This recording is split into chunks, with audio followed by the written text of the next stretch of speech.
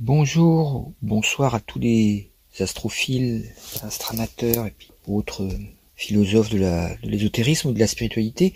Je vais encore une fois vous proposer euh, mes analyses pour la nouvelle lune pour vous permettre de à la fois de mieux comprendre le monde qui nous entoure et grâce à l'astrologie, l'astrologie universelle mutation qui est la méthode que j'utilise qui est un peu différente des astrologies habituelles, plus, plus profonde, plus plus branchée justement sur l'évolution de la conscience parce que contenant des éléments euh, qui euh, nouveaux qui ont été découverts pour permettre cette euh, ouverture de l'astrologie à une, conscience différente qui peut aller vers l'éveil.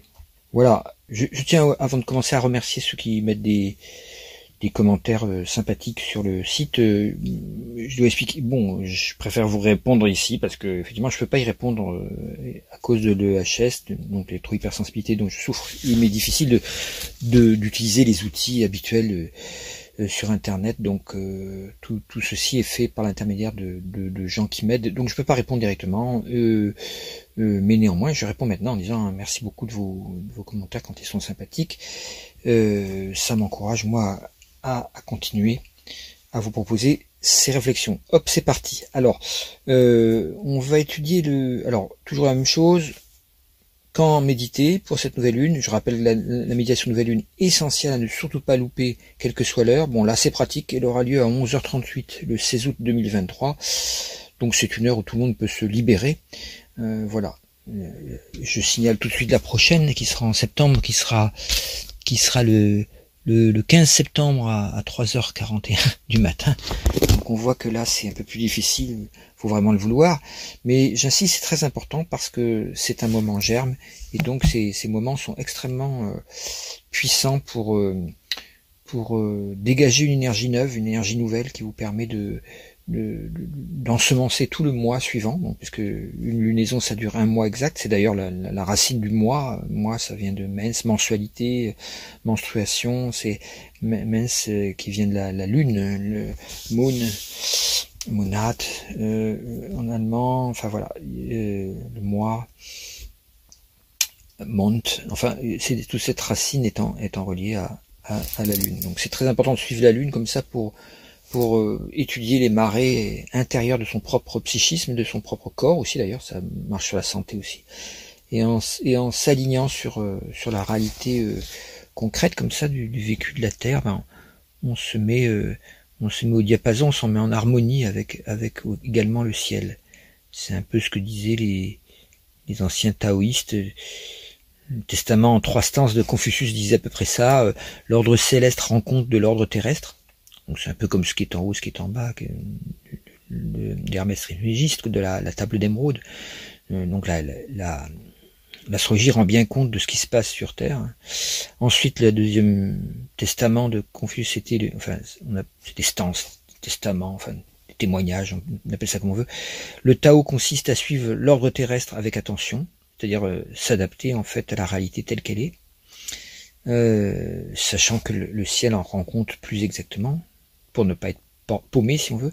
Et la troisième stance, c'est euh, euh, cultiver le Tao et l'essence de toute pratique religieuse, c'est-à-dire que la, culture de cet équilibre intérieur du yin et du yang, du, ciel et de la terre, euh, est à la base d'une pratique religieuse, qui, une pratique spirituelle, on aurait pu dire, qui soit pas seulement dogmatique.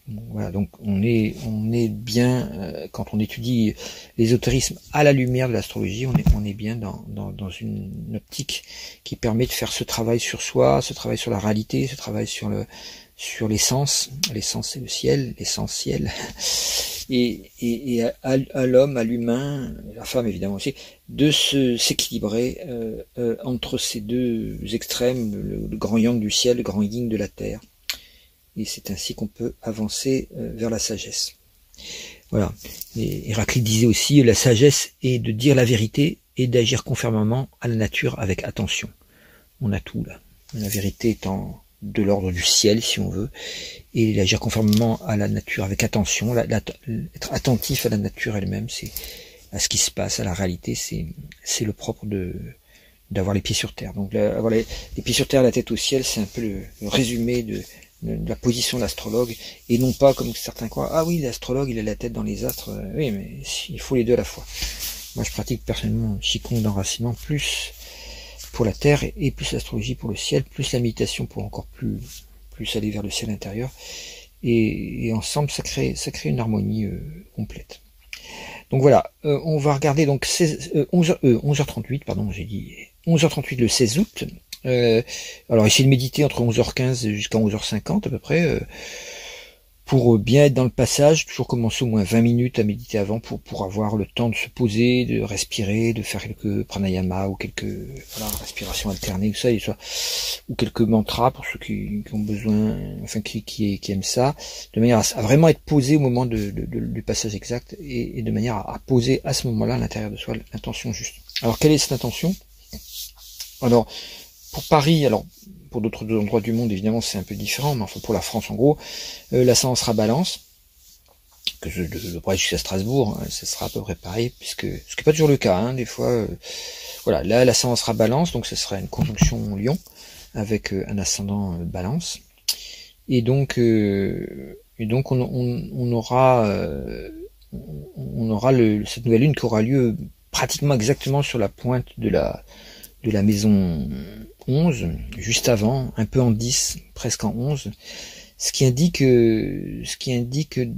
que cette euh, nouvelle lune euh, nous amène à prendre des décisions importantes pour l'avenir. Euh, comme Paris, c'est l'endroit où est le gouvernement, pour l'avenir du pays. c'est en Lyon, c'est un signe de gouvernement, de, gouvernance, on dit maintenant. Et évidemment, ça indique que des décisions fortes peuvent être prises à ce moment-là. Euh, à l'heure où je parle, je suis déjà au courant que le Conseil d'État a, empêché le gouvernement de, dissoudre les soulèvements de la Terre, ce qui est une très très bonne chose, et ça correspond tout à fait à ce thème-là. Donc l'événement a lieu un petit peu avant, mais c'est certain qu'il va être euh, discuté fortement, puisqu'on voit que le lion euh, va, a envie de réagir au taureau, on va dire ça comme ça, et le, Conseil d'État étant quelque chose qui, euh, c'est le Conseil constitutionnel, pardon. enfin bon, tout ça c'est des, des, des modes de, de gestion plutôt euh, juridiques euh, face à l'exécutif, et, et, on a encore une petite chance de voir qu'en France les pouvoirs sont encore séparés, comme, comme Montesquieu le recommandait, pour que, pour garder une, l'esprit de la République ou, l'esprit de, la démocratie. Donc le, il a, le gouvernement a été sommé de revoir sa copie. Évidemment, euh, dans ce cas-là, il va la revoir avec acharnement. On connaît le, les gouvernants actuels à quel point ils sont obstinés euh, dans la mauvaise direction.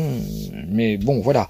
Néanmoins, c'est une bonne chose que de voir que certaines institutions fonctionnent dans le bon sens, c'est-à-dire euh, remettre le voilà, l'église au, milieu du village, comme on disait autrefois, c'est-à-dire euh, remettre un peu de bon sens dans, une espèce d'autoritarisme qui dérive complètement vers un, péténisme euh, archaïque et, grave, étant donné que les urgences euh, écologiques sont quand même autrement importantes que ces espèces d'infantilisme un peu autoritaire qui caractérise notre, gouvernement actuel. Cette espèce d'obéissance servile de députés qui semblent avoir perdu tous leur faculté de jugement pour se ranger aussitôt à ce que, à, la moindre parole du, du maître. On a, on a un, fonctionnement quasi euh, sectaire de, de ce gouvernement euh, au sens qu'il y aurait un gourou, euh, et, puis des gens qui doivent suivre, obéir, se soumettre absolument. C'est ce qui se passe tout le temps. Et, euh, c'est très marrant de constater que le, le, nouveau cheval de bataille, bientôt qui va sortir avec ce thème, semble être justement s'attaquer aux sectes. Rien de tel qu'une bonne secte pour s'attaquer aux autres sectes. Ça, ça, permet de faire un nuage de fumée, de tromperie et d'illusion qui est bien de l'ordre de la manipulation sectaire d'ailleurs. Voilà, donc on va on va juste raisonner astrologiquement pour ceux qui, aiment ça. Pour les autres, ben, ne vous bouchez pas les oreilles, mais enfin disons que voilà, on rentre dans le langage astrologique qui est quand même, est quand même une clé de compréhension. Moi, je, je, dis pas tout ça par euh, parce que ça me sort par inspiration. Il y, a, une lecture du thème évidemment qui permet de. C'est comme un alphabet et on met les lettres en ordre et ça fait des mots et les mots font créer un sens. Donc euh, euh, voilà, bien que certains détracteurs de l'astrologie prétendent qu'il n'y a, rien de scientifique là-dedans, euh, euh, c'est eux qui ne le sont pas, puisque il faudra d'ailleurs un jour que je fasse, euh, je, l'ai déjà fait autrefois, mais ça n'intéresse pas grand monde, bon, que je refasse une espèce de, topo pendant une heure et demie pour montrer toutes les preuves qui existent, les preuves scientifiques de, l'astrologie, et qui montrent que tous ceux qui disent que c'est une croyance sont eux-mêmes dans la croyance c'est comme ce que je viens de dire quoi, les sectaires qui dénoncent la secte ou les croyants qui dénoncent euh, d'autres croyances euh, qui n'en sont pas.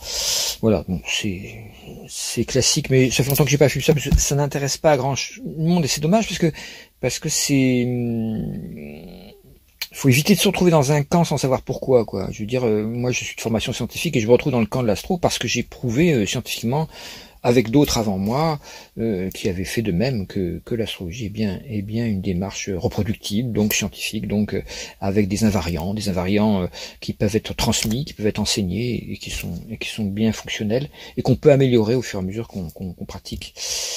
Tout, tout, tout, tout, cet ensemble de choses étant une définition même d'une démarche scientifique. Alors c'est pas de la science dure comme la, physique voilà, ou la chimie, c'est une, c'est une science humaine, mais euh, parmi les sciences humaines, c'est certainement celle qui contient le plus de certitude, de, euh, de, de, méthodes, en fait, euh,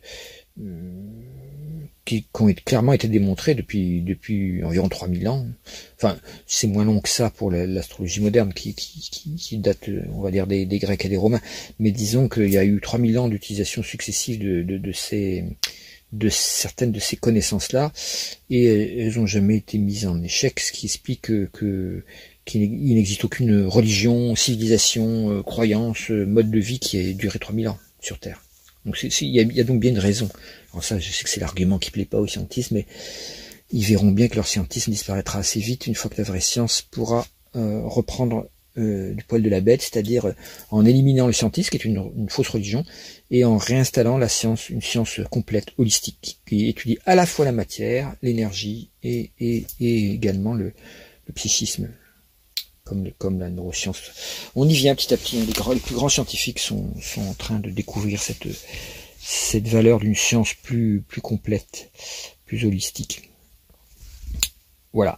Alors, quel est le l'ascendant euh, donc euh, cette nouvelle lune a lieu sur le, 24e degré Lion, 23-17 Lion exactement.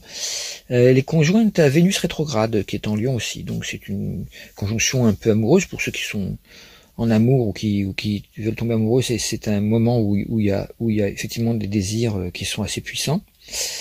Euh, alors, ce qui va nous intéresser, c'est qu'est-ce que nous demande de faire ce thème? La sans balance nous invite à, nous équilibrer euh, socialement, euh, relationnellement, que ce soit en couple ou pas en couple, mais aussi dans la société, dans la politique, tout, tout ce qui est relation où on doit tenir compte d'un parti adverse, essayer de s'harmoniser avec lui, de s'équilibrer avec, fait partie de, de, de, de, la sans balance, qui est un ascendant très très politique, ou moi je préfère dire politique d'ailleurs. donc euh, c'est-à-dire qui, amène de l'éthique dans la politique, il y en a bien besoin. Donc euh, le, la sans balance euh, veut, veut donc nous permettre à tous de nous engager un peu dans, dans, de vraies valeurs. Le lion, c'est le signe des valeurs. Hein. On a vu avec la pleine lune que c'était aussi le signe de l'égocentrisme. Je le vaux bien, on va dire. Mais c'est pas que l'égocentrisme, c'est pas que l'orgueil. C'est également savoir quelles sont mes valeurs pour savoir quelles sont les valeurs que je veux défendre. Or, il y a vraiment des valeurs à défendre parce que notre, société est en plein nihilisme, en pleine décrépitude mentale, euh, spirituelle, philosophique, et, il est bon d'essayer de retrouver euh, quelles sont les valeurs auxquelles on tient de manière à, ne pas euh, déchoir de son devoir d'être humain. Le devoir d'être humain étant de, bah, de jouer le rôle d'un être humain sur Terre et non pas d'être un simple consommateur, un estomac sur pattes qui fait son métro boulot dodo, euh, voilà, qui et qui mange juste pour euh, pour, pour, pour fabriquer l'énergie euh, désirante, qui, qui, qui se perd dans, dans des faux désirs en plus. Bon voilà, donc c'est cette ces vraies valeurs. Vénus aime les valeurs, on va dire ça comme ça. Donc là, on voit que Vénus est, intéressant parce que est, en rétrograde conjoint à la nouvelle lune. Il y a une lune noire aussi qui est conjointe. On voit que il y a quelque chose qui qui qui, euh, qui nous invite à vraiment euh, creuser en chacun quelles sont mes valeurs. Et ce Vénus, je rappelle, c'est le premier mètre d'ascendant de, de, de, la balance. En astrologie universelle de la mutation, il y a trois, il y a trois mètres d'ascendant dans la balance. Il y, a, il y a Vénus, il y a Chiron et il y a Proserpine. Bon, on va les voir successivement pour faciliter l'interprétation. Donc le premier étant collé à la nouvelle lune, 18-40 par rapport à 23-17, ça fait quatre ennemis, près de donc c'est une conjonction assez exacte. Euh, il y a une loi en astrologie qui dit que quand le maître d'ascendant est collé à, d'autres planètes, c'est celles-ci, ces, ces planètes-là qui prennent le, dessus. Donc là, on a, la nouvelle lune qui prend le dessus grâce à l'ascendant. C'est-à-dire que cette, nouvelle lune va être, euh, captée par, le sentiment collectif, par le sentiment individuel également, comme étant importante, comme, étant rappelant euh, les grands combats, les grandes valeurs euh, qui sont celles bah, peut-être de notre pays, de notre démocratie, enfin à quoi on tient. Euh, ça peut être aussi pour la bonne raison que c'est attaqué par d'autres valeurs différentes. Je pense à la guerre entre en Ukraine et Poutine. On sait que Poutine, le but principal de, son son règne de, de, de, de tsar, c'est de réintroduire euh, la, la, grande terreur d'Ivan le Terrible, quoi, de, réintroduire le, stalinisme à sa sauce, à la sauce non plus euh, communiste mais plutôt fasciste, hein, dans, dans, dans l'essence même du terme, hein, pas, pas, pas pour dire ah c'est un facho, enfin c'est pas c'est pas du tout une insulte, c'est c'est il faut s'intéresser aux, écrits euh, aux philosophies du fascisme, le Poutine est exactement l'archétype du, fascisme, quoi, comme Mussolini, comme comme Hitler un peu moins, parce qu'Hitler avait une, une essence raciste et, et, plus mystique dans le nazisme qu'il n'y a pas dans le fascisme. Le fascisme est une espèce de, de, de, de montée en, en, épingle du, du virilisme euh, qui est vu comme euh, la loi du plus fort étant vue comme ce qui sauve la société. Hein, alors que bon, on sait d'après le code d'Amourabi que justement c'est exactement l'inverse qui, qui, a fait société depuis environ 3000 euh, enfin euh, oui 5000 ans ce qui a créé les sociétés euh, qui ont qui ont perduré celles qui je parle pas des, sociétés dites primitives qui sont pas organisées du tout de la même manière mais les sociétés dites plus solaires quoi qui sont apparues dans le dans le Moyen-Orient sont basées sur sur une vision solaire donc plus yang et qui pour éviter de tomber dans, la guerre du, plus fort qui, a, qui, a, qui, a, qui a servi les plus faibles, bien qu'il y a eu plein de guerres évidemment, les sociétés occidentales, euh, Amourabi avait choisi de, créer un code, les premières lois démocratiques, quoi, qui, ont été reprises aussi dans les lois de Solon après par les Grecs, et qui ont créé la démocratie. C'est le principe de protéger les, le faible contre les puissants. Contre les puissants. Donc c'est comme ça que sont nés les premiers États. L'État est les anarchistes disent toujours l'État est négatif, non pas forcément. Il peut être au début tel qu'il a été créé, il était un moyen de créer des lois, des constitutions qui protègent les, les plus faibles de l'écrasement par les plus puissants. Bon, on, a un peu oublié ça, faut croire, hein, dans, notre monde actuel, mais enfin bon, c'est comme ça. Euh, donc, euh, alors pourquoi je dis ça? Oui, euh, donc parce que les, valeurs Lyon, euh, les valeurs auxquelles on tient absolument, euh, peuvent être euh, rappelées par la, tension énorme a avec cette, de cette conjonction, avec la conjonction Jupiter-Uranus qui est en taureau. Comme si, comme alors, je, rappelle que Uranus en taureau est en chute et qu'à chaque fois, la, dernière fois qu'il est passé en taureau, bah, ça a été les années de la deuxième guerre mondiale et de la montée du nazisme et du fascisme justement et du stalinisme. Il faut pas l'oublier, il, faisait partie de la brochette dans, dans, dans l'URSS. Donc c'était, il y a il y a eu des déplacements de population, des, des, des des, des, des, mises en goulag du côté de la Russie, des, des, massacres, des, pogroms, des, enfin, il n'y a pas que le nazisme qui a fait ça, le stalinisme aussi. Euh, Mussolini, ici, il avait eu le, un, empire aurait fait le même, mais il n'avait pas assez de, capacité pour le faire, donc il a remis ses petits bras avec beaucoup de véhémence. Et il a fait finalement peut-être moins de dégâts, mais les, les, deux autres ogres, Staline et Hitler, se sont, se sont payés euh, une tranche de, mortalité extrêmement, extrêmement dont, la marque reste encore sur toute l'humanité. Hein. Le, traumatisme de la deuxième guerre mondiale a, mis bien que les, les, derniers survivants, les combattants de, de cette guerre mondiale sont, sont en train de mourir petit à petit. C'est des, des doyens quoi. Et donc euh, ceux qui l'ont vécu en tant que combattants sont, sont en train de disparaître, mais néanmoins le, le témoignage reste cuisant quoi donc le, le, fait que Uranus soit dans le même endroit, ça ne veut pas dire que ça reproduit la même chose, ça veut dire attention, Jupiter s'approche du, du, d'Uranus. Donc euh, Jupiter c'est toujours le grand amplificateur, faut pas le croire comme le grand bénéfique, comme on dit trop souvent dans l'astrologie. Il est bénéfique, ça dépend ce qui touche là. Donc là, comme il approche d'un Uranus qui n'est pas très bon, qui peut être bon si vous le rendez bon. Hein. Je dis pas que la planète en elle-même est mauvaise. Je dis que étant en taureau, elle a tendance à faire monter l'extrême droite un peu partout, et ça se constate quand même assez aisément dans le monde, ce qui, ce qui peut, ce qui fait retomber un petit peu la croyance courante chez les astrologues. Ah oui, Uranus, la planète du Verseau, celle qui amène le, renouveau, la fraternité. On va tous raser gratis parce que c'est l'air du Verseau. Non, non, non. C'est, c'est Uranus, une planète extrêmement sèche, extrêmement, extrêmement euh, avec une focalisation d'esprit extrêmement étroite, qui peut, qui peut, qui peut amener des, grands savants, des chercheurs, des, gens qui sont capables, des, astrologues d'ailleurs, qui sont capables d'aller très très loin pour creuser un sujet. Mais euh, à l'inverse de ça, ça peut aussi amener un esprit extrêmement peu souple, très très raidi, très très coincé dans une, dans une direction unique et, et, et, quelquefois très très dogmatique. Donc, donc par essence, Uranus est un peu un peu euh, extrême droite quoi. Il est un peu facho, il est un peu. On le retrouve dans les extrémistes d'ailleurs, hein, aussi bien gauche aussi, mais mais il est il est plus d'essence souvent un peu extrême droite. Il y a une tendance à l'individualisme. Je, je, je, en fait, je, rêve de dominer les autres quoi. Je rêve de. Il y a, il y a, alors cet aspect négatif d'Uranus apparaît surtout quand il est en un signe comme dans le Taureau, là où il est depuis encore pour deux deux ans encore, où il est en, chute. Donc voilà. Donc euh, pour, quelqu'un qui a une dominante uranienne, ça veut pas dire qu'Uranus fait forcément ça. Ça dépend dans quel signe il est et, comment il est, par quoi il est entouré.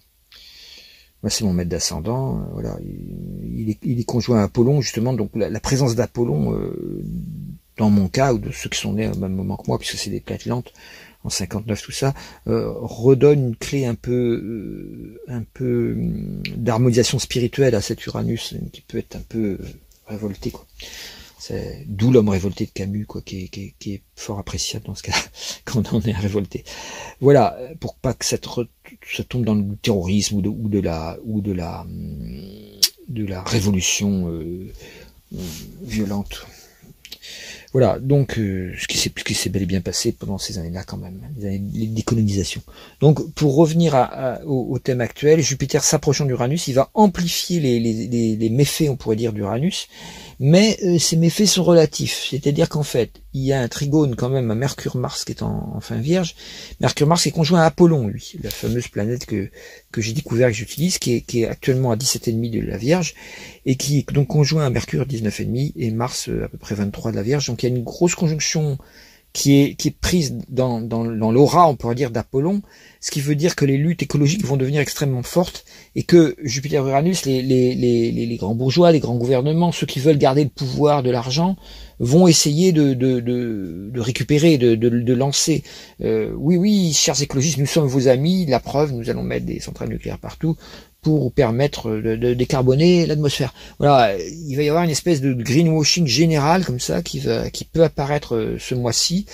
Alors faites gaffe évidemment vous mois d'août aux, décisions qui sont faites pendant que vous regardez la, mer et les petits bateaux, parce que c'est souvent là que se prennent des décisions des fois les plus graves. Euh, par exemple, la dissolution du soulèvement de la Terre devait se faire euh, donc début août, la pied, ah, ça a raté.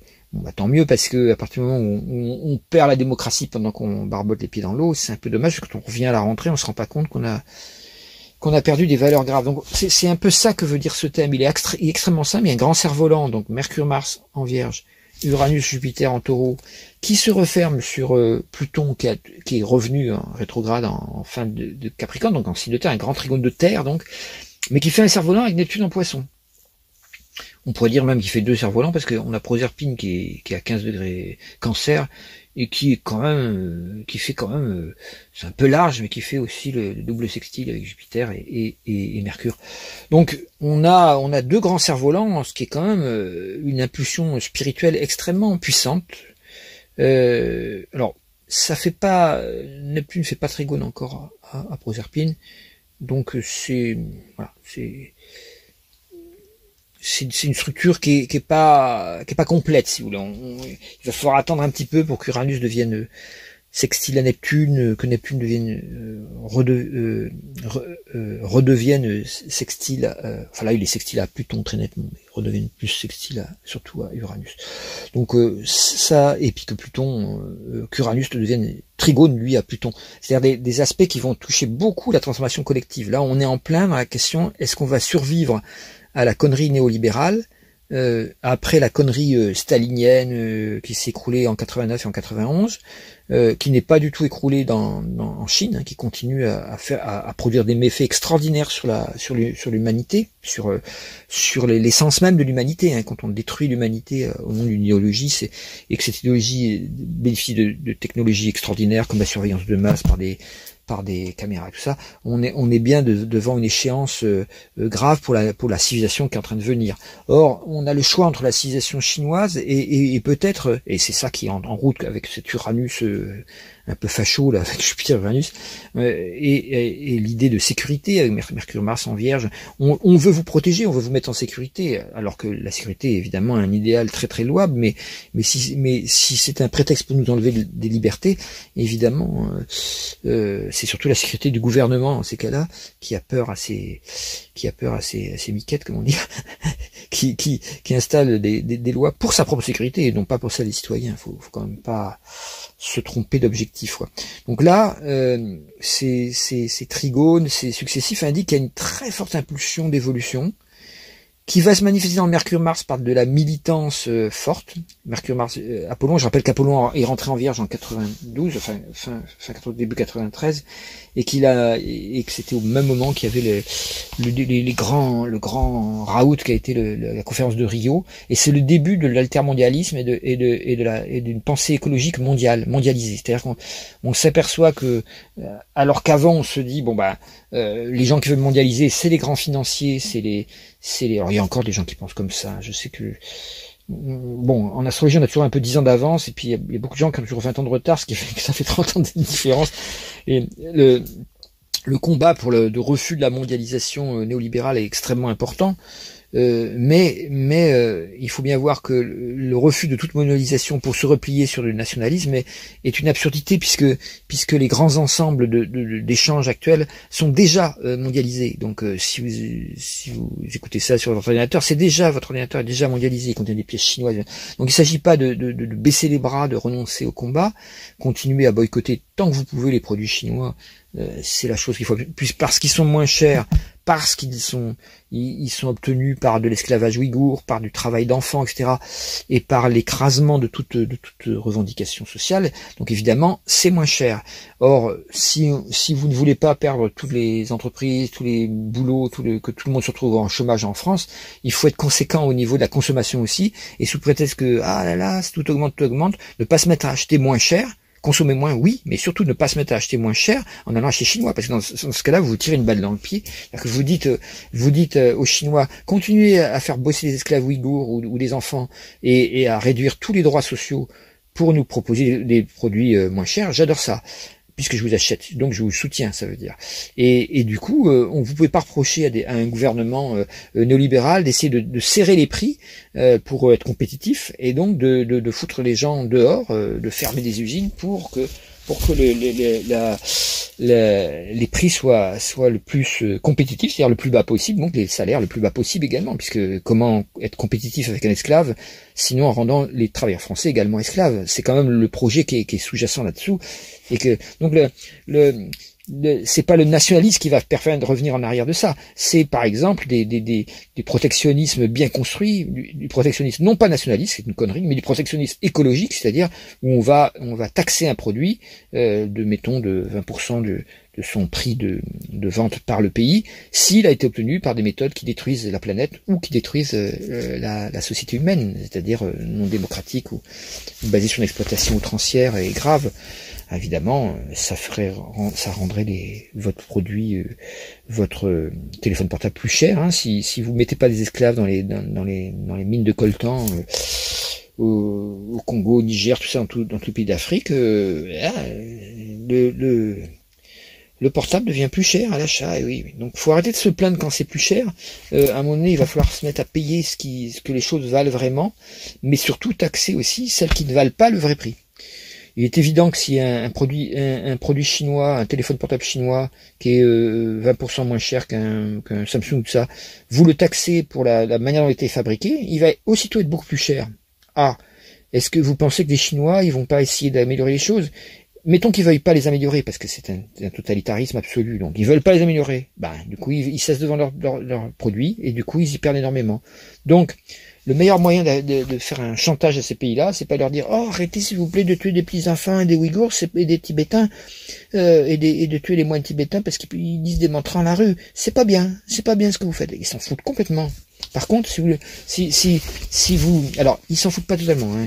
Amnesty International a travaillé pendant des, décennies en faisant honte aux dictateurs au niveau international, en, disant que c'était des bourreaux, et ça marche très très bien, parce que ces gens-là adorent être des sauveurs de leur peuple, même s'ils sont des les Pinochet, les Franco, tout ça, Hitler, tout ça, ils sont tous pris pour leur sauveur leur peuple. Hein. Ça, il n'y a, a pas d'exception ils amènent le bien d'une manière un peu radicale, certes, mais on fait pas d'omelette sans casser les œufs. C'est toujours leur discours, quoi. Donc, si vous voulez, euh, euh, ces gens-là euh, n'ont aucune éthique, justement, aucune morale profonde, humaniste. Ils ont aucun humanisme. Et, ce qui va leur faire honte, c'est quand on dit ah là, là, tout le monde dit partout dans le monde entier que vous êtes un bourreau. Ah, ils aiment pas ça. Ils veulent qu'on les, les prenne pour des héros. Alors, ils sont capables de libérer à ce moment-là ce que faisait Amnesty des, des prisonniers. Et ces prisonniers, à ce moment-là, euh, donc je conseille toujours de, de, de, militer le plus possible l'Amnesty International parce que ça fonctionne toujours. Le... Néanmoins, il y a une grande exception à ce, à ce mythe salvateur, c'est Poutine qui a compris qu'il fallait s'en foutre complètement et qui, qui, qui, à la place de, de cette de ce totalitarisme, de ce bashing, on pourrait dire appeler ça comme ça, de cette critique des, abus euh, des, grands, des grands totalitaires, euh, lui pratique la fake news à grande échelle par des fermes de hackers, et ça lui suffit pour éviter de, de relâcher ses prisonniers politiques, puisqu'il a compris que quand on relâche un prisonnier politique, ce que ce qu'ont fait les dictateurs africains, ben ce prisonnier politique est capable d'entraîner euh, des milliers d'autres à sa suite pour pour renverser le gouvernement totalitaire. Donc euh, il a compris ça. Euh, Poutine était quelqu'un de très intelligent, de, extrêmement machiavélique, extrêmement dangereux, parce que justement il est très intelligent. on a actuellement euh, certains dirigeants qui peuvent être complètement d'une négativité absolue et extrêmement intelligents, un peu des, des Dark Vador sur pattes, quoi. Des, des, des, chevaliers, des chevaliers du Jedi retournés du côté obscur de la force, quoi. On a, on a, on a beaucoup ça en ce moment. Xi Jinping, bah, notre président. Poutine, ça, c'est des gens qui peuvent être euh, qui peuvent être complètement en train de travailler pour l'ancien monde, pour être euh, des, espèces de réactionnaires inconscients. Quoi. Ils sont, ils pensent être des, dirigeants modernes, mais en fait, euh, derrière leur modernisme, ils, ramènent en fait des, des, idéologies très très anciennes. Poutine ramène le stalinisme. Euh, Macron ramène le pétainisme de manière très très claire. Ça, c'est ceux qui l'ont pas encore vu, ben réfléchissez. Et puis Xi Jinping ramène les premiers temps du, maoïsme, où, la, la doctrine maoïste et stalinienne se ressemblaient énormément. Voilà, donc on a, on a un côté rétrograde comme ça de, de, de l'histoire humaine en ce moment, à cause d'Uranus en taureau. Il faut, toujours savoir que le taureau, c'est un signe un peu qui, qui aime revenir en arrière, qui aime, euh, voilà, c'est travail, famille, patrie un petit peu. C'est, c'est un signe qui peut avoir une forme de conservatisme, voire de, retour en arrière. Alors si vous êtes taureau, ne vous offusquez pas de ce que je veux dire, mais euh, regardez bien euh, dans votre propre vie, par moment, euh, comment vous freinez les cas de fer quand il s'agit d'évoluer, de changer, de passer à autre chose, de, de renouveler, de, de, de, suivre une voie nouvelle. C'est une, une, énorme méfiance dans le taureau pour, pour avancer. Dans le cancer aussi, on en avait parlé, mais pas pour les mêmes raisons. C'est plus par peur, alors que dans le cancer, alors que dans le taureau, c'est plus par une forme de conservatisme ou d'attachement à, des valeurs anciennes, hein, comme si euh, les ancêtres étaient encore là derrière pour te dicter la conduite. Voilà, donc Jupiter étant en taureau, les, valeurs taureau sont très très amplifiées, et y compris dans, dans, leurs valeurs les plus les plus réactionnaires, les plus les plus euh, les plus fachos, quoi. Et ça, le Soleil Lune euh, euh, sera exactement en carré à Uranus. Donc il y, a vraiment un arrachement de cette nouvelle Lune à Uranus qui dit qui dit bon bon sang de bonsoir il faut il faut retrouver nos vraies valeurs et s'arracher à cette espèce de d'ambiance de, euh, totalitaire qui est en train de monter partout. Il, faut en sortir. Il faut il faut retrouver les vraies valeurs. Alors ça peut parler à des gens plus jeunes aussi enfin à condition qu'ils y réfléchissent qu'ils soient pas branchés uniquement sur leur idiophone là en train de de scroller sans arrêt euh, des conneries. Euh, mais s'ils se réveillent de, de, de, de, cette euh, illusion de masse qui leur est proposée, puisque c'est une véritable drogue collective, hein, les, les, les, idiotophones, ça s'appelle pas smartphone parce que ça n'a rien d'intelligent du tout, c'est en train de transformer, d'abêtir l'humanité à grande échelle. Quand vous regardez le métro, tout ça, dans les, les heures de pointe, moi je le vois pas, mais on m'a décrit, c'est une une bande de, moines priants, quoi, tous penchés sur leur, sur leur téléphone, qui sont incapables de, qui deviennent incapables de faire des, des liens avec, euh, avec leurs voisins, avec leurs proches, qui deviennent incapables de communiquer et qui sont, qui sont pris dans, dans cette, dans cette folie de, de, d'être arrachés à la réalité vécue euh, du cœur pour être euh, euh, plongé dans, dans, une cérébralité perpétuelle. Et, et, en plus euh, stérile, c'est-à-dire qu'il y a une cérébralité qui ne crée pas une co-créativité avec l'univers, avec la nature ou avec l'humanité, mais une, une, cérébralité uniquement en fait de dispersion, de distraction, de d'aller voir. Ah ça c'est intéressant, ah oui, de, on surfe, on, on, saute de sujet en sujet en, en obéissant à des algorithmes extrêmement dangereux qui, qui je rappelle qu'il y a une expérience qui a été faite avec euh, l'algorithme de, de ChatGPT euh, qui a été faite euh, en, introduisant une identité pour interagir sur les réseaux sociaux, rien qu'avec ChatGPT. Et au bout de 24 heures de, de ChatGPT apprend en, intégrant les valeurs qu'il rencontre, quoi, pour augmenter son intelligence. Au bout de 24 heures, ChatGPT était devenu complètement facho et nazi il avait, il, avait compris que c'était ça qui dominait, parce qu'il y, a une, grande dominance de ça sur Internet malheureusement. Et, euh, et si on intégrait toutes les, tous les, parce que nous quand on lit, on, voit qu'il y a des gens qui sont des trolls, c'est des imbéciles, mais ChatGPT n'a pas vu ça. Il, prend toute valeur euh, exprimée sur un truc comme étant quelque chose à, quoi répondre. Petit à petit, il s'est retrouvé complètement euh, lui-même conditionné à devenir complètement nazi c'est assez extraordinaire. ça, pose question sur ce qu'ils appellent l'intelligence artificielle. On peut appeler ça sans risque de se tromper la, bêtise artificielle dans laquelle on est en train de plonger plutôt. Mais le, fait qu'on nous dise smartphone, intelligence artificielle, c'est pour nous manipuler, pour nous rendre encore plus bêtes justement. On, nous fait croire qu'on est intelligent. Rien de tel pour devenir bête que quelqu'un qui se croit intelligent. Quand vous commencez à vous dire, finalement, je suis peut-être pas si intelligent que ça, c'est le début de la sagesse. C'est là, je commence à me dire, je n'en sais pas assez, je dois apprendre. Donc si je peux dire je n'en sais pas assez, ou je, sais mal, ou je connais mal, ou je connais pas le sujet, tel ou tel sujet approfondi, ça invite à travailler, à lire, à, apprendre, et donc euh, là la sagesse augmente. Alors quand vous croyez intelligent, c'est peut-être le grand problème qu'a la France actuellement. Il y a une mémoire d'un pays très intelligent qui est, réputé pour ça dans le monde entier. Et à mon avis, on est en train de devenir le, presque le pays le plus con du monde à force de se croire intelligent justement. On, devient très intello, mais, mais peu peut, peut porter à avoir une réaction intelligente justement aux événements. Donc là, ça va être le moment d'en avoir des réactions intelligentes parce que au nom des de vraies valeurs. Alors, le je voulais vous parler des, des maîtres d'ascendant aussi. Le deuxième maître d'ascendant, c'est Chiron. Il est en bélier juste en face hein, de l'ascendant. Donc ça veut dire que là, il y a des, il y a une, il y a des, il y a des ennemis à rencontrer. Chiron en bélier est en, est en, exil. Pour moi, le, le, le Chiron et Proserpine sont, sont des maîtres de la balance. Donc forcément, le bélier est en face de la balance. Ils sont en exil. Proserpine n'est pas en bélier. Hein. Euh, mais quand il a été en bélier, euh, ça n'a pas, ça n'a pas tourné très très bon dans le monde. Voilà. Euh, donc, si c'était le moment de la de la deuxième guerre mondiale, donc c'est du nazisme, et du fascisme, tout ça. Donc on va donc euh, en bélier peut ramener ça également. Donc on, a, on, il va falloir s'opposer. Hein, le gouvernement va essayer pour équilibrer les choses, de s'opposer à, ce qui pourrait être des, des, extrémismes, des choses comme ça. Mais dans ces extrémistes qui iront les rétrogrades en bélier, il, nous est dit qu'il y a aussi des gens qui sont, euh, qui sont des gens qui, qui réclament qu'on sorte de l'extrémisme du néolibéralisme qui est en train de détruire la planète. Donc là, là, il y a, y a une, il y a un paradoxe qui est pas vu par le gouvernement, euh, qui dit ah oui oui mais c'est pas bien, euh, le, voilà, euh, ces gens-là ont été élus, ils ont le droit de faire ce qu'ils veulent en gros puisqu'ils ont été élus. Non non, s'ils sont en train de la planète alors qu'on attend d'eux qu'ils qui, gèrent un pays, donc des citoyens, pas que l'économie d'un pays, c'est pas qu'une économie, c'est des citoyens. Et donc et qui au contraire, les décisions qu'ils prennent successives n'ont absolument non seulement aucun écho euh, pour transformer, pour accélérer la transformation écologique nécessaire pour éviter la catastrophe climatique, le changement climatique est déjà fait, hein. c'est la catastrophe climatique qu'il faut éviter, donc une catastrophe euh, biocidique, c'est quelque chose qui va détruire beaucoup de vie sur la planète, au niveau des plantes, des, animaux c'est déjà commencé, au niveau des plantes. Évidemment, on aura du mal à savoir quoi manger après. Hein. Quand, on aura, quand les abeilles mourront, disait déjà Einstein, il y a de grandes chances que, la mortalité de l'humanité commencera à être euh, catastrophique également.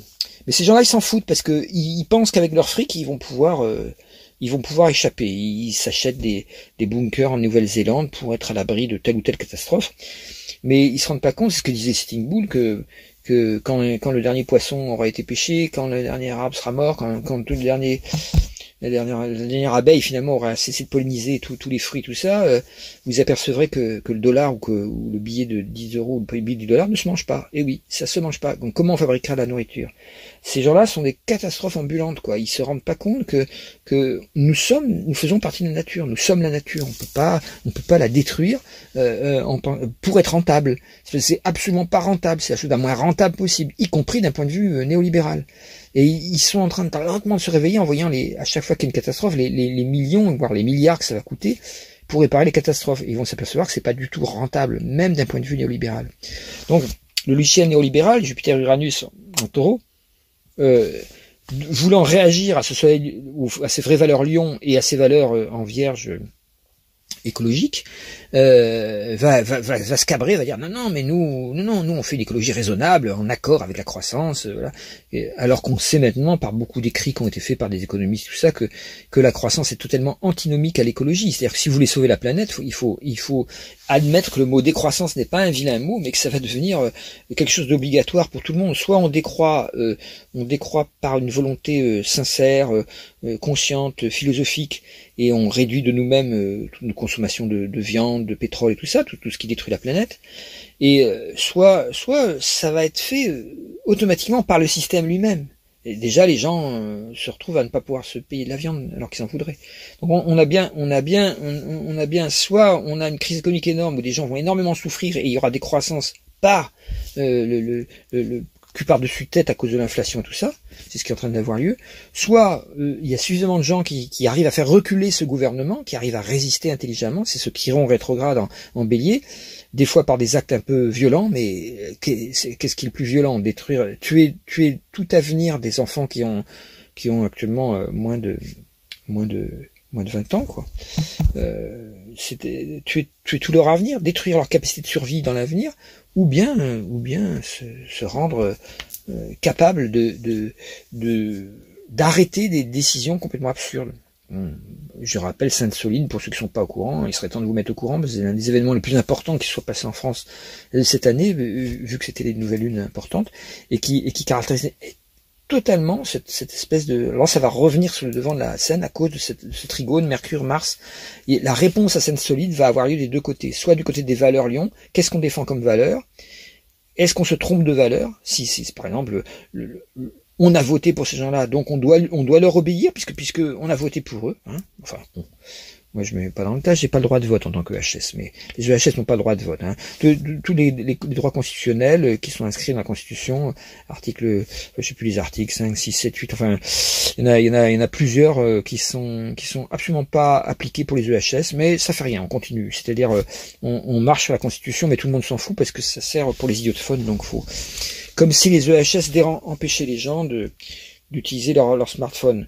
Ben, comme disait Gunther Anders, c'est c'est justement la, la, la, techno, la technicisation de l'être humain qui, qui, qui le rend qui le rend coupable de tout, puisque plus il se technologise au lieu de rester humain, plus il devient inhumain, plus il devient euh, froid et distant, moins il va faire quelque chose pour son prochain, euh, plus on va laisser crever les EHS dans, leur, dans leur goulag, en disant non, il n'y a pas goulag, c'est leur faute, ils sont un peu fous, alors que les preuves scientifiques sont déjà faites que depuis longtemps, par le professeur Belpomme par exemple, qui a été accusé d'être un, récemment, qui a, qui, a, été accusé euh, par des médecins, voilà, de, donc il a perdu son, son un peu comme Raoult. On, dégrade les, ceux qui défendent la vérité, alors que les preuves scientifiques sont indéniables, elles sont là mais on, fait un écran de fumée en disant ah non c'est la fausse science parce qu'il utilisait des machines qui sont pas homologuées. Bah oui, il a inventé une machine qui permet des EHS d'entrer dans un non pas dans un IRM où ils, sortent dans les deux secondes suivantes en hurlant parce que ça,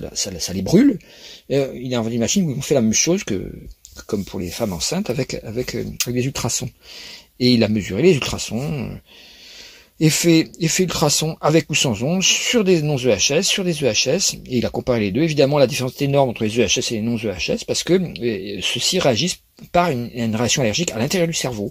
Bon, c'est QFD, donc c'est prouvé scientifiquement. Maintenant, tous ceux qui pensent encore que que, que le HS serait un truc, euh, un effet nocebo, euh, sont forcément des imbéciles qui sont ou alors des gens euh, non informés encore. Mais dans ce cas-là, avec l'internet, vous devez vous informer, pas tout le temps au même endroit, pas forcément des sources. C'est comme avec les, vaccins, là, à un moment donné, il fallait se renseigner auprès des épidémiologistes et tout ça, les plus reconnus, et non pas croire simplement ce que nous professaient les vendeurs de les vendeurs de, Pfizer et, et, essayer de faire un libre choix entre les deux, en voyant que chacun, il y a peut-être un part de vérité chez chacun, il y a des, gens qui, croyaient dans ce qu'il disait quelque part, mais c'est à vous de trouver lesquels. Mais pour ça, il faut s'informer, il faut pas prendre une seule source d'information, sinon évidemment vous vous faites bananer, rouiller dans la farine. Donc là, il y a, ni, ni, les, ni, les, ni les vendeurs de vaccins qui ont, qui ont eu l'oreille euh, attentive du, de, de, nos gouvernements, ni les, ni les complotistes euh, manipulés par Poutine n'avaient raison dans, dans l'histoire des, des, deux ans qui ont eu lieu. C'était deux extrêmes des deux côtés qui étaient tout aussi euh, et qui s'opposaient les uns les autres, comme, comme à une époque, c'est Uranus Santoro, hein, à une époque Uranus Santoro, qu'est-ce qui s'est opposé? Bah, Le stalinisme s'est opposé, s'est opposé au fascisme. Quoi. Il y avait Hitler, Stalingrad, tout ça, la bataille entre les, nazis et les, deux, théories du monde qui, allaient sauver l'humanité. D'un côté le, fascisme, le, fascisme et le nazisme, et de l'autre côté le, communisme et le stalinisme. Et, il n'y avait pas le droit de sortir de ce double, de ce double combat, ces deux têtes du dragon qui se, qui se battaient. Bah là, on a eu pareil entre les, les, les complotistes comment on pourrait appeler ça, des, d'essence poutinienne. Hein. Je parle pas de ceux qui, qui analysent le fait qu'effectivement le, le, néolibéralisme est une forme de complot mondial contre l'humanité. Ça, désormais, c'est, clair. Mais contre ceux qui, qui, qui ont avalé toutes les théories plus ou moins fumeuses, trumpistes, poutiniennes, tout ça, et qui ont cru que c'était, que c'était, il y avait de la vérité là-dedans, alors que c'était, c'est des mensonges fabriqués euh, sciemment. Hein. C'est pas du tout des gens qui mentent par euh, par erreur, par omission, mais que c'était fabriqué sciemment par des fermes, des, fermes du KGB, puis qui s'appelle FSB maintenant, c'est-à-dire des, services secrets. Les services secrets comme la CIA ou comme le, KGB, puis le, FSB, sont, sont des, vraiment des poisons pour l'humanité terribles, parce qu'ils inventent des techniques de manipulation de masse extraordinaires. Enfin là, on entend parler du scorpion, on est peu, mais quand tu rames en taureau, c'est un peu ça qui se passe, quoi. C'est-à-dire on, on revient en arrière. Bon bah donc ça c'était pour mon euh, en face de, de, de, l'ascendant qui dit bah oui il faut réagir aux extrémistes mais qui sont les extrémistes? Est-ce que ce sont ceux qui, qui, qui font marcher la planche à billets le néolibéralisme à fond et quitte à détruire la planète ou est-ce que ce sont ceux qui, qui percent des bâches euh, euh, à Sainte-Soline parce que elles sont faites pour confisquer l'eau à tous les petits, les petits agriculteurs bio pour la donner exclusivement aux grands céréaliers ou qui font du maïs pour les bestiaux, parce que vous, tous, peuple français, demandez de la viande en abondance. On voit très bien que c'est peut-être pas en coupant la bâche, déjà que le terrorisme de couper la bâche est très relatif par rapport au, terrorisme d'enlever l'eau à ceux qui font une autre agriculture que celle euh, voulue par les, par les lobbies euh, de, la pétrochimie et, de l'agrochimie. Bon, euh, là c'est très très grossier. Donc c'est une, c'est un, ça s'appelle la légitime défense. Donc c'est presque pas du, terrorisme de ce point de vue-là. Euh, par rapport à un terrorisme plus effrayant, qui est celui de confisquer l'eau, alors que l'eau c'est la vie. Hein. Si on se met à confisquer la vie sous prétexte qu'on croit avoir raison, ça devient grave. Euh, à, l'intérieur de ça, euh, évidemment, on peut avoir des gens qui, qui s'énervent et qui rentrent dans des violences extrêmement fortes, qui soient, qui soient habillés en en, en, black bloc ou qui soit habillé en, en CRS d'ailleurs, euh, on voit apparaître une grande violence euh, de, de, côté. Et évidemment, la la balance demande de pacifier ça en face, de dire attends, on va peut-être pas, euh, si on se met à discuter à coups de barre de fer ou de, ou de matraque ou de gaz lacrymogène, euh, on risque pas de s'acheminer plus rapidement vers une démocratie intelligente. Quoi. Donc, donc il y a bien, il y a bien ce problématique là qui est reposé ce mois-ci. Alors bon, je rappelle que je parle pour euh, pour un mois, hein, donc ça va jusqu'à la mi-septembre. Ça veut dire que peut-être cette, cette espèce de d'indice là peut indiquer que la rentrée sera peut-être un peu chaude là. Je ne sais pas trop pourquoi, mais on va voir. Euh, ensuite, euh, le dernier, la dernière maître de la balance, c'est Proserpine. Alors ça, c'est souvent au niveau spirituel, ça, ça concerne pas souvent tout le monde. Sauf que là, il est, il est au milieu du ciel, à 15 degrés cancer à peu près au milieu du ciel à Paris, quoi.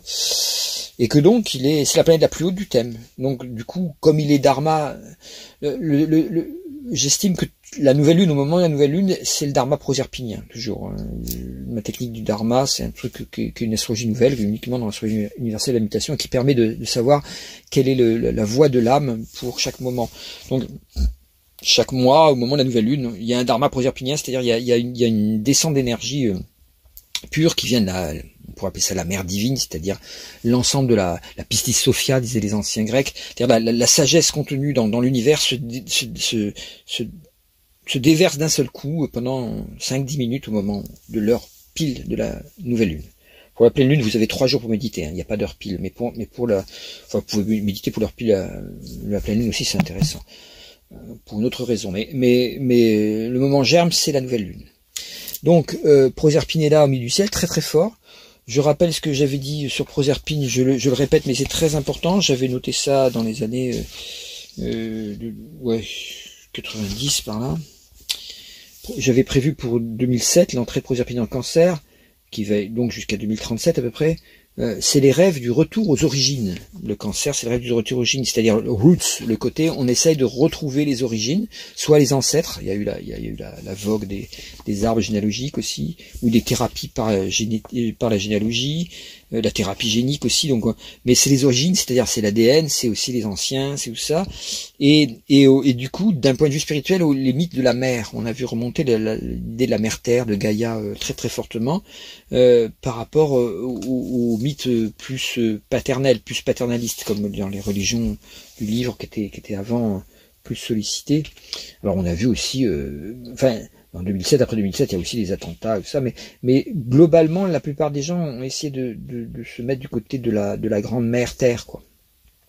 Et, au niveau négatif, j'avais marqué à l'époque, infantilisation des masses, c'est-à-dire on, prend les gens pour des, bah, pour demeurés, on les prend pour des enfants, et on, fait en sorte qu'ils deviennent des enfants, c'est-à-dire qu'on les distrait, on, utilise leur, leur hédonisme, euh, la recherche du plaisir est naturelle pour un être vivant, quel qu'il soit, euh, et on utilise cette recherche de plaisir, on la focalise, on la, on la renforce, on la, on, on abrutit, on drogue presque les gens avec euh, avec la notion de plaisir, avec des écrans, avec des avec des avec des nourritures sucrées, etc. De manière à, en faire des enfants.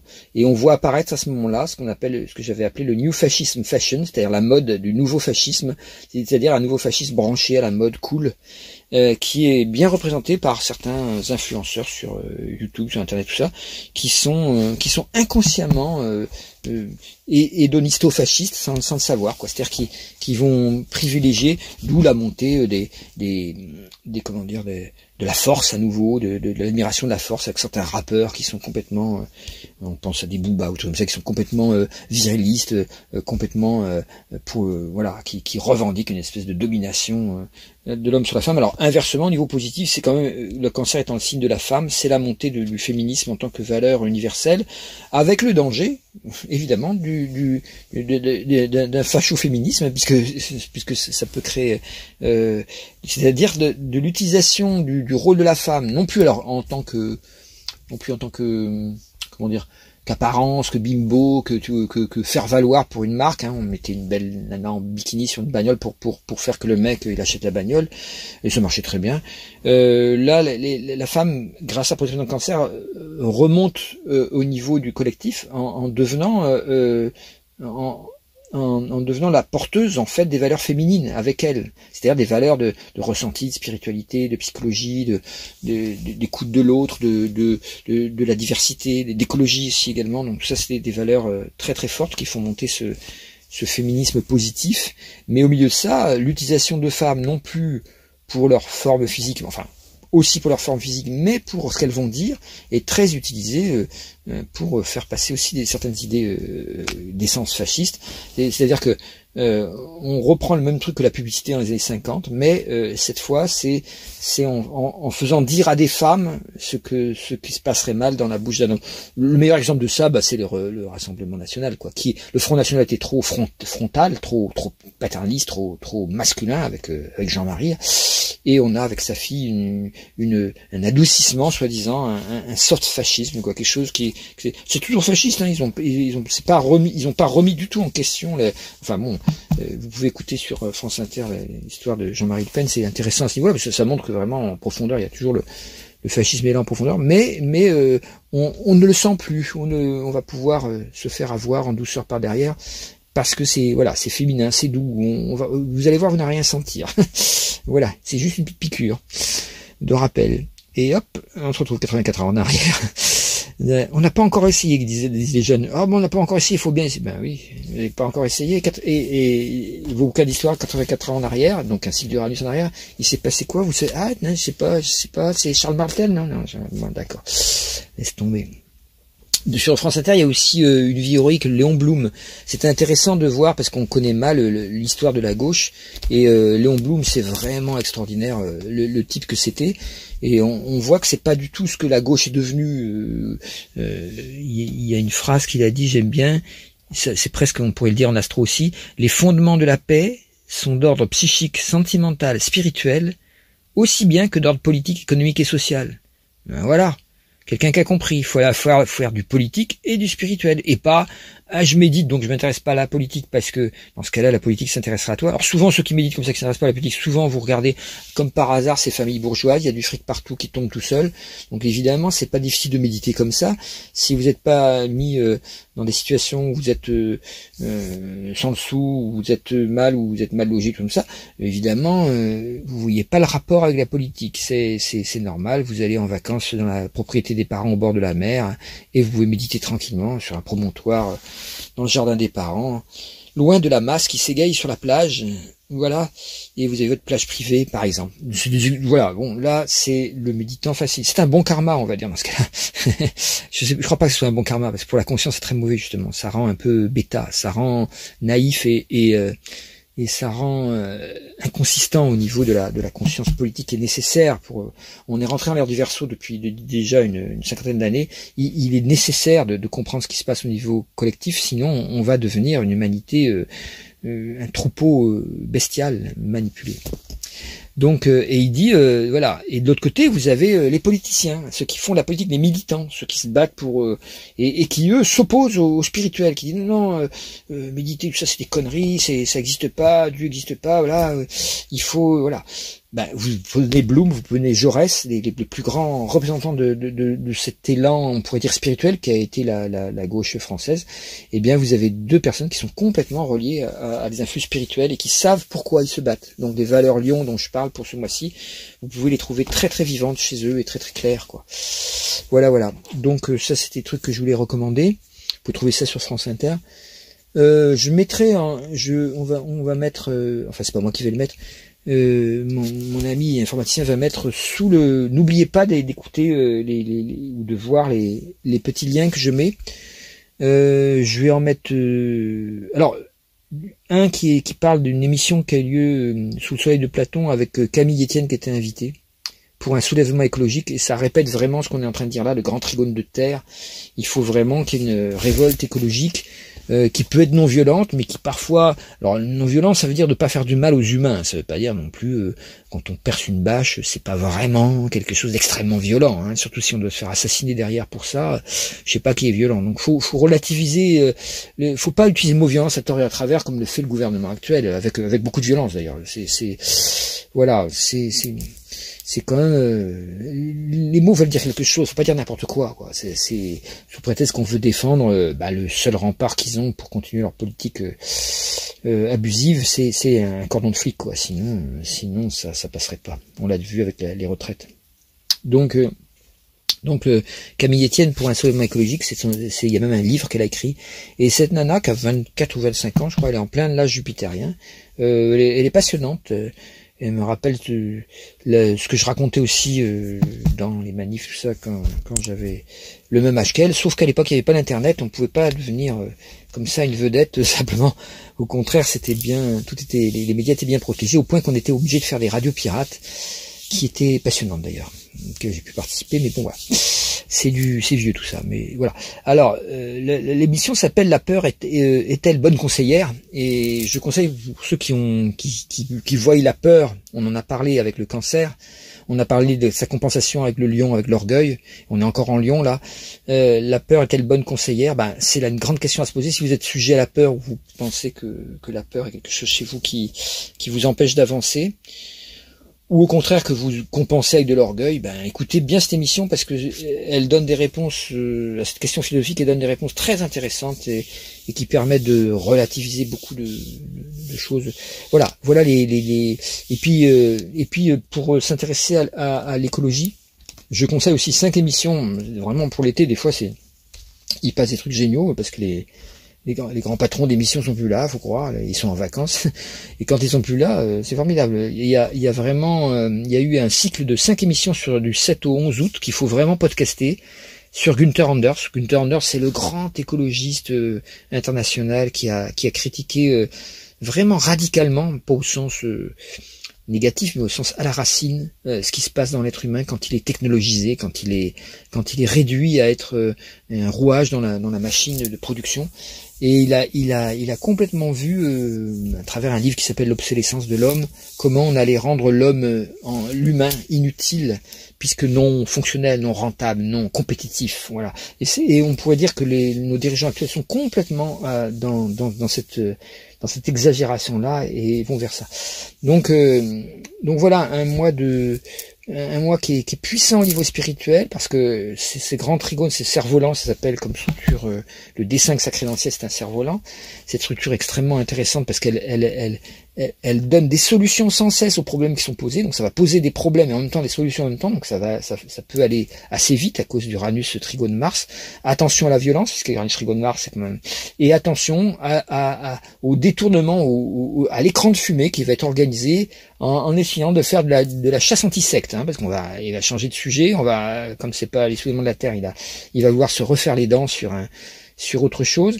Et, et, l'opposition entre militance et, et, et, méditant et militant, que, qui est très très claire dans, dans le thème de ce mois-ci, elle est très résolvable en, en voyant que les deux doivent être faits ensemble.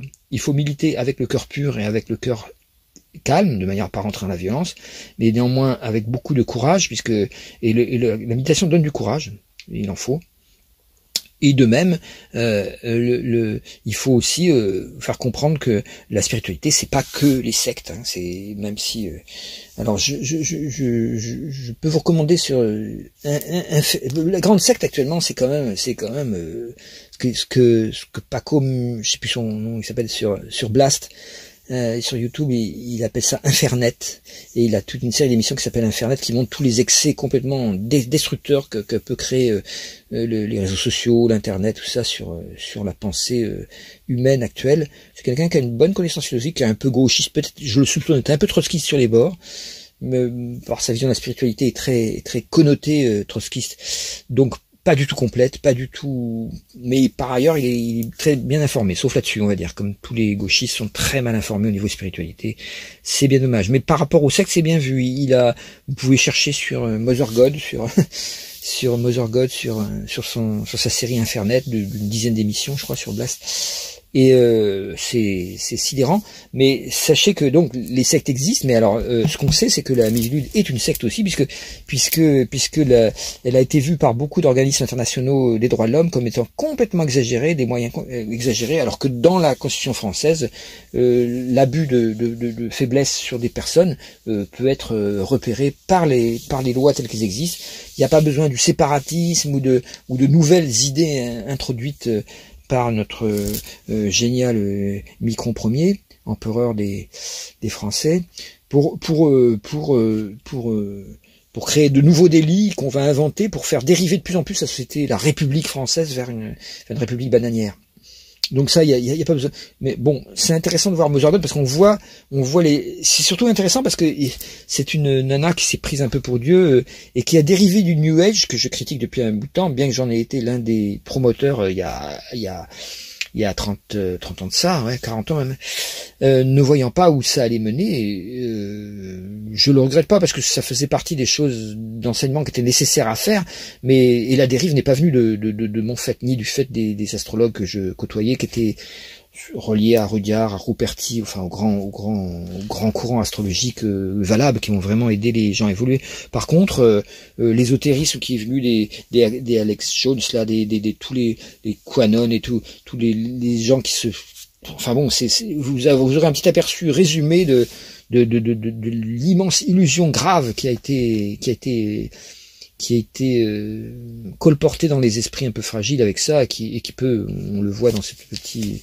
c'est un peu choquant comme euh, comme petite vidéo, mais voilà, je vous le conseille aussi. Donc voilà, c'était trois vidéos que je vous conseillais, je mettrai tous les liens en dessous. Donc euh, Mother God euh, de, de, Blast sur YouTube, euh, Gunther Anders c'est sur ses émissions de France Inter. c'est France Inter ou c'est quand je me trompe pas Gunther Anders, c'est France Culture, pardon, c'est France Culture du 7 août au 11 août 2023. Avoir raison avec Gunther Anders.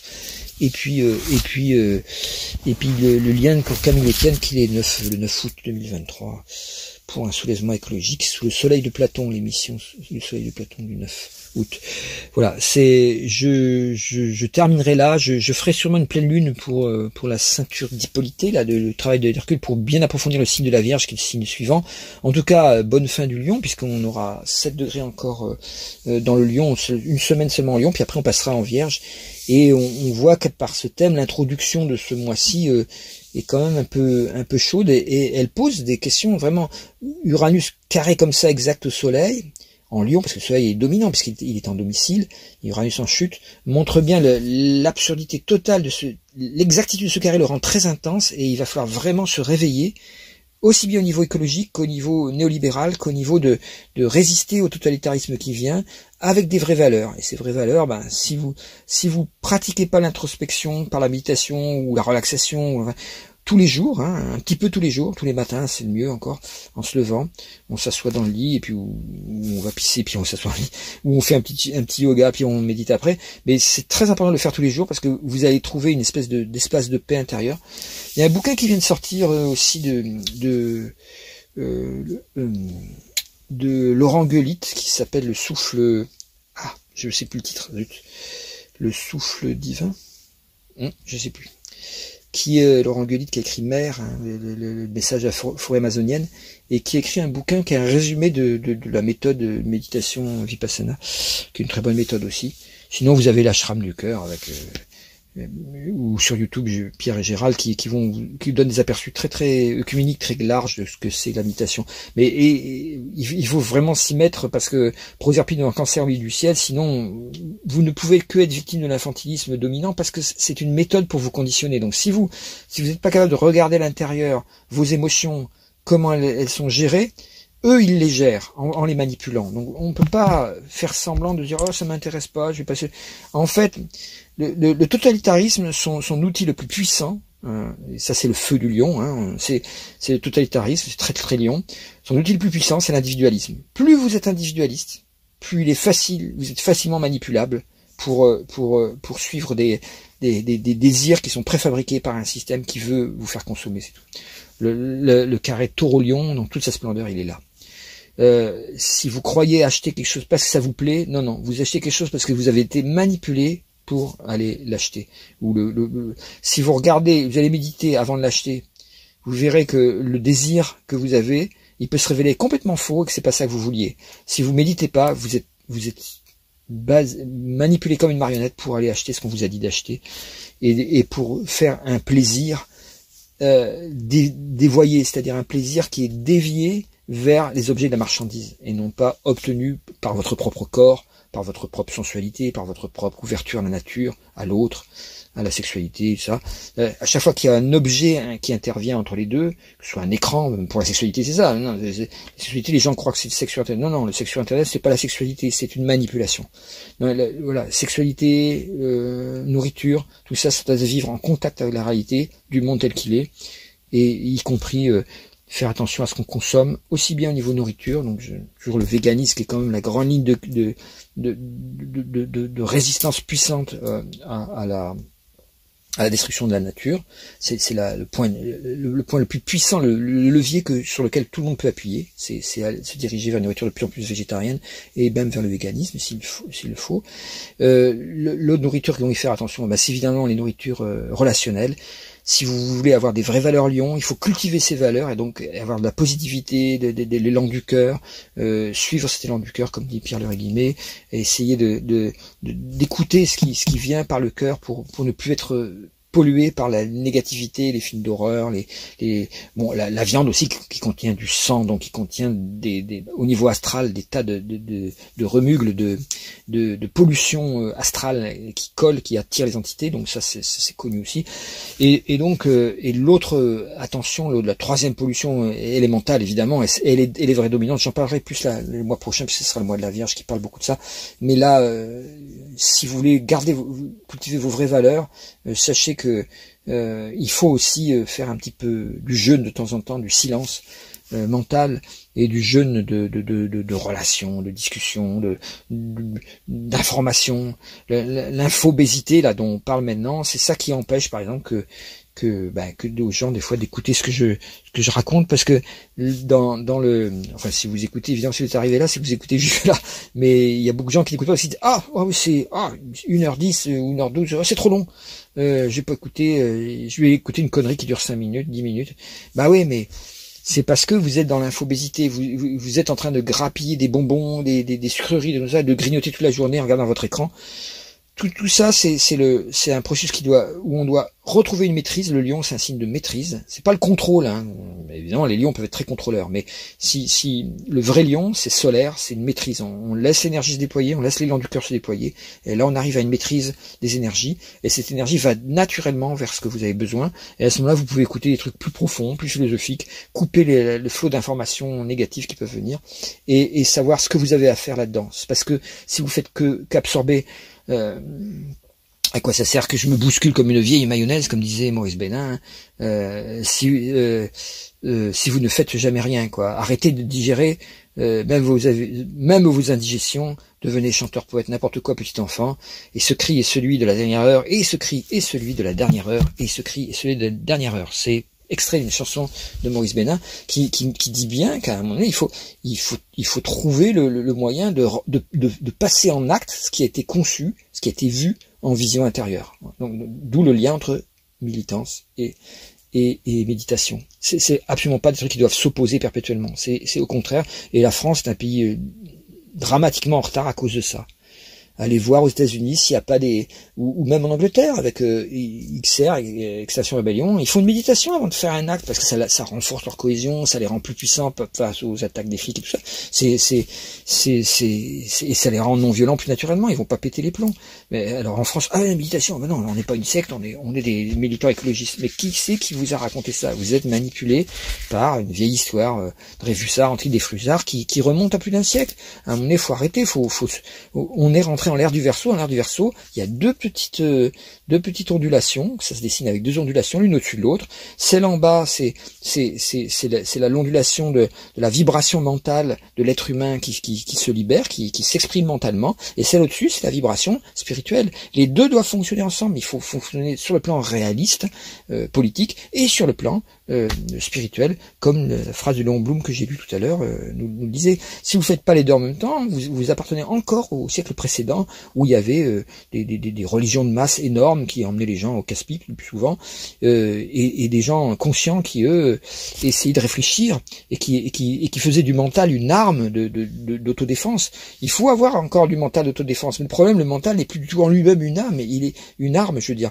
Il est justement, on a l'âme à la place de l'arme mentale, l'âme au-dessus du mental peut inspirer bien mieux le mental, et à ce moment-là, le mental continue à être positif pour évoluer, mais il est moins pris dans l'infobésité, dans, dans, les, dans, le, dans la dépression euh, profonde que créent toutes ces informations. Euh, voilà, s'il y a, s'il y a une, une attaque encore euh, grave de, de, de, de, de la de l'URSS, j'allais dire, la plus significative de l'URSS, oui, voilà, qui veut récupérer son pacte de Varsovie, là, qui veut récupérer l'Ukraine, ben évidemment, c'est très déprimant, quoi, de voir que des gens qui sont qui ont des vraies valeurs euh, dignes soient soient aussi attaqués que les valeurs européennes justement, parce que l'Europe c'est pas un vain mot dans ces cas-là, c'est pas seulement un espace économique où on va marchandiser tout euh, pour faire du fric. Ça, ça a été l'erreur de la Constitution de 2005, qui a été auquel tout le monde a dit non et ils nous ont fait passer en force grâce à Sarko et Merkel ensemble, main dans la main au restaurant.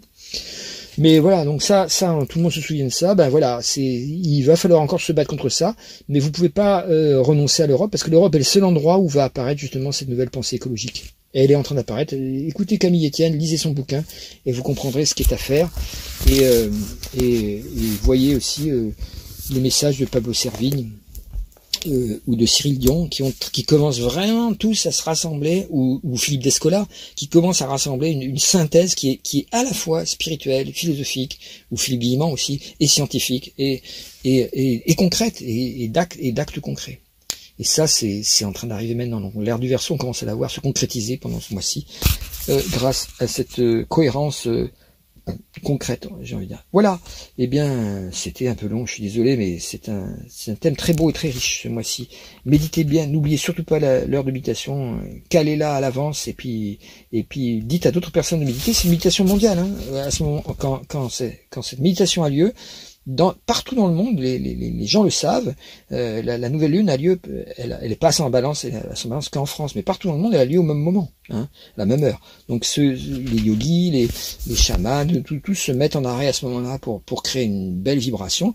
Participez à ce mouvement de méditation mondiale, rendez-le, euh, comment dire ça, euh, euh, contagieux, je sais plus le mot, contagieux sur Internet, et de manière à ce que à ce qu'on se rende compte que cette cette, connexion avec la lune c'est quelque chose de mondial. C'est mais c'est pas simplement euh, pour faire coucou les petits oiseaux aux anges gardiens et, et à tout ça. Il y, a, il y a une transformation intérieure qui doit avoir lieu à l'intérieur de chacun. Et c'est ça qui compte c'est que cette transformation intérieure ait lieu et qu'elle qu'elle serve à agir correctement à jouer son rôle son, à jouer son devoir d'être humain comme disait Simone Veil avec un W Allez, à bientôt. Et pour la pleine lune, je vais essayer à nouveau de, vous faire suivre euh, la bagarre, euh, les, bagarres des travaux d'Hercule contre les, puissances des forces noires.